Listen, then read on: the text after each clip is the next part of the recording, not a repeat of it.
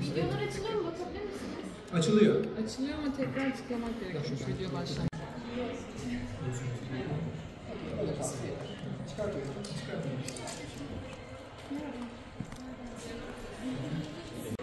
Biz burada kişinin koluna takıyoruz ve nasıl diz eklemi kolda çalışacak bunu göstereceğiz. Aslında buradaki cihazın en önemli e, giyilebilir, ilk düşünebilir cyborg tipi robot olmasının en önemli şeyi de düşünce gücüyle, kasa bir aktivasyon gitmesiyle çalışmasından kaynaklı olduğunu göstereceğiz. Başlatıyorum. Bu motor hareket normal kişi kolunu kaldırdığında diyelim. Son bir kez daha. Tamam.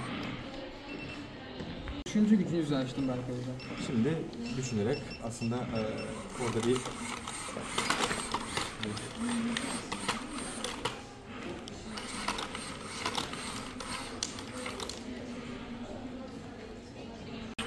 Kolumu kaldırmayı düşünüyorum.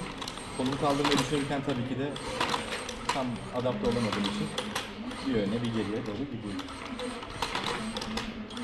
Kapatıyorum. Giydikten sonra atıyorum omurilik yaralanması alt tarafı e, çalışmayan bir hasta düşünün. Bu robotu giydi. Bunu yürüyor, yürüyormuş gibi düşünmeye başladığı zaman robot hareket etmeye başlayacak. Oradaki kaslara bir sinyal gidecek. Bu sinyalin gitmesiyle de hareket açığa çıkacak. Tabi bu düşünmeyle çalışmalar bile bu uzun bir süreç e, olabiliyor. Bir hafta, iki hafta, üç hafta bile aslında bunu çalışılabiliyor. Öyle söyleyebilirim.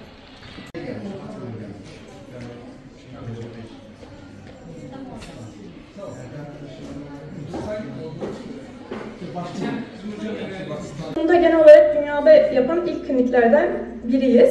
Ee, Seanslar 30 dakika, 40 dakika olabiliyor.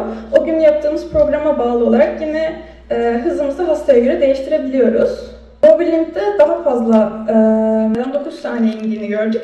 6 dakika yürüme testini de artık e, hasta rahat bir şekilde tamamlayabiliyordu yine treadmill'de. Artık 310 metre yürüyebiliyordu. Yine aynı şekilde göreceksiniz. Bu yine dediğim gibi 30 saniyelik olan kısmı. Burada yürüyüş hızı 2'den 4'e yükselebiliyor. Aynı zamanda adım uzunluğu sağ 58, solda 61 santim gibi artık normal derecede yaklaştı. Aralarındaki farklı kabul edilebilir bir fark olarak gördük. Artık çok rahat bir şekilde tutunma ihtiyacı hissetmeden yürüyebiliyordu. Hızı da yaşına göre iyiydi.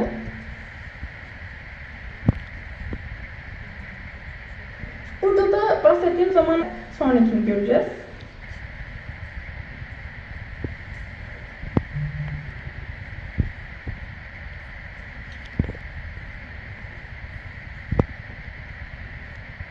Burada 9 saniyede tamamlayıp yerine oturabiliyordu.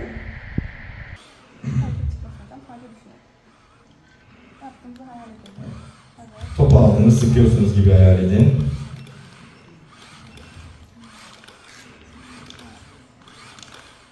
Robotu, robot ve aslında robotu kullanan birey arasındaki bağlantıyı oluşturmakta bir süre zaman alabiliyor. Cyberden teknolojisi e, daha çok nörolojik hastalıklara sahip kişilerin veya ortopedik hastalıklara sahip kişilerin yürüme fonksiyonlarını geri getiren bir dış iskelet ve- veya bir robotik rehabilitasyon teknolojisidir. Bu teknoloji kişinin düşünce gücüyle çalışmaktadır ve e, düşünce gücünü aldıktan sonra beyinde yeni yolaklar oluşarak yeni sinir oluşumlarını sağlamaktadır diyebiliriz. Bu dış iskeletler e, nörolojik hastalıklar ki bunlar başta olmak üzere omurilik felcinin belli bir kısımları, inme hastaların belli bir kısımları, MS hastaların belli bir kısımları, Parkinson hastaların belli bir kısımları başta olmak üzere ondan fazla nörolojik hastalıkların yürüme fonksiyonlarında fayda sağlamaya amaçlamaktadır. Cyberhan teknolojisi şu an dünyanın belli merkezlerinde ki keza Türkiye'de var, var olmaktadır. Ancak şu an e, ki çok az cihaz kapasitesi ve çok az hasta kapasitesinden dolayı yaygınlaşamamaktadır. E, ancak ilerideki 20 yıl içerisinde bizler Cyberrun teknolojisinin veya diğer e, robotik cihazların gelişmesiyle birlikte yaygınlaşmasını planlamaktayız. Ee, Bunun için ne yazık ki bir şey söyleyemiyoruz. Çünkü bu teknoloji birazcık daha düşünce gücü teknolojisi olduklarından dolayı yüksek teknoloji olarak gözükmektedir ve şu anki 10 yıl için ne yazık ki hiçbir şey söyleyemiyoruz. Yaygınlaşması dünya sağlığı açısından yatağa bağımlı kişilerde veya devletin bakmakla yükümlü olduğu nörolojik hasta gruplarında bir fayda sağlamasını ve bağımsızlığın kazanmasını hedeflediğinden dolayı dünya ekonomisine ki ülkelerin ekonomisine fayda sağlayacağını düşünmekteyiz. Eğer bu yaygınlaştırılabilirse ve gençlerimize bu anlamda vizyon kazandırıp bu anlamdaki gelişmelere e, katkılarını daha da artırabilirsek daha ileri yıllarda e, hareket etme kabiliyeti güçleşen yaşlılarımızı belki de düşünce gücüyle hareket ettirebilecekleri bir robotik teknoloji yardımıyla çok daha fonksiyonel kılabilmiş olacağız. Kas iskelet sistemi bozukluğu, bozuklukları aslında çok geneldir. E, bu nörolojik kaynaklı da olabilir. Kas ve kemik yapısına bağlı olarak da olabilir. E, bir insanın bir şekilde yürümesini, oturmasını, e, el fonksiyonlarını yerine getirmesini zorlaştıran her türlü hastalık bu kapsama girer diyebilirim. Yaşlılarda da bunları bildiğiniz üzere sıklıkla görüyoruz. Neden yaygınlaşamıyor derseniz, e, henüz ülkemizde bunu gerçekleştirecek teknoloji, belki patentlerin alınması e, vesaire gibi durumlar hala hazırda önünde biraz engel. E, Türkiye'de bu sadece çalışmalar boyutunda, deneysel çalışmalar boyutunda şu anda kullanılıyor.